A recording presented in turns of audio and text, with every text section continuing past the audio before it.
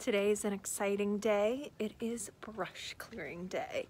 So I rented the Billy Goat hydraulic brush hog from Home Depot. Can't wait to get started. Cold day to do this, but I'm taking advantage of being off. All right, so I rented the Billy Goat brush hog from Home Depot and my project for today is to clear as much brush as I can from the side of our property. So we have the brush starting from the top. Some of that is the neighbors on the other side. So I'm really just gonna clear our side. And it goes all the way to the back of our property line. So we are going to take this progress video so I can see all I did. Speaking future tense. All overgrown.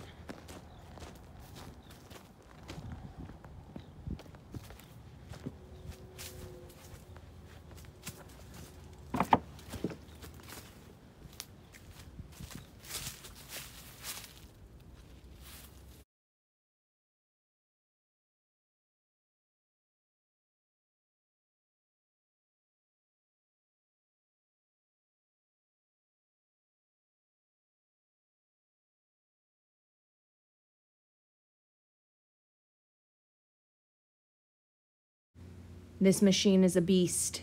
It will easily take down small trees, brush, shrubs, you name it. You might be sore the next day because it is pretty strenuous, but it really does do the job and you can tell a huge difference after just using it for an hour or a few hours.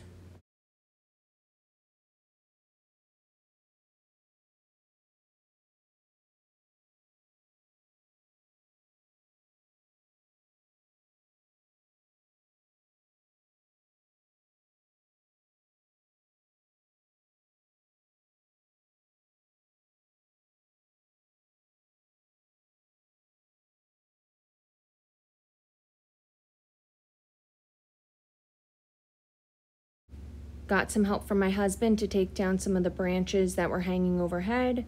I will say it's probably easier to take down some of the branches or trees that are in your way and then go through the brush hog. We couldn't even walk through our property line and get to those places. So we had to do it that way where I went through with the brush hog one day and then he came in the next.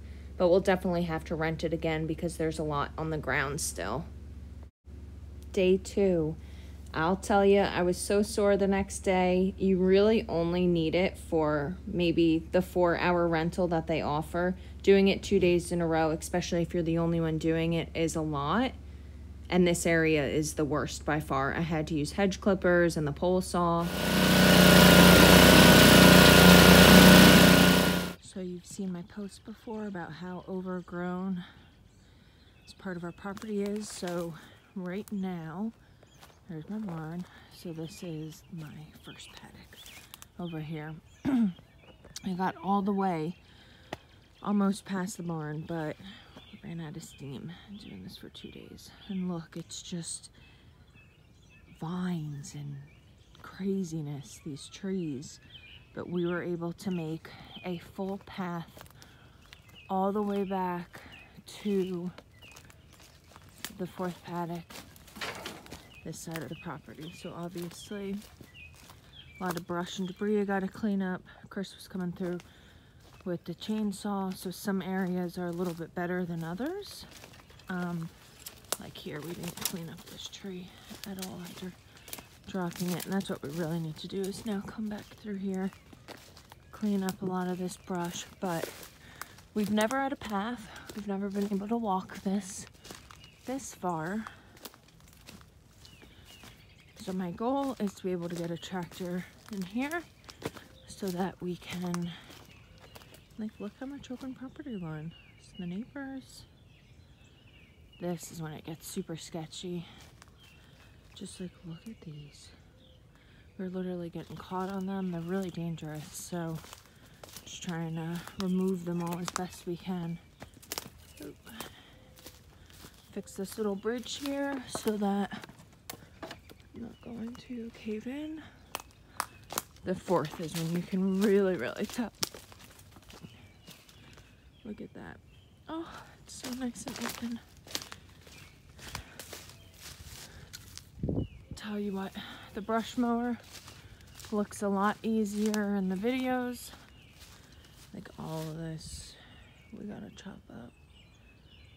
But it's at least cleared out. So now we can just start coming through with the chainsaw little by little.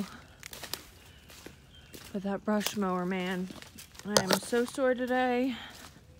Just Doing it for two days um, is quite exhausting, I have to say. I genuinely thought I was going to be able to get everything done in one day. No. Back, is another project for another day. But I did clean it up good. So ha definitely have a lot of property line that we opened up. Still a lot more to go, but it's starting to look really good. And be able to utilize all of the property. Sounds like George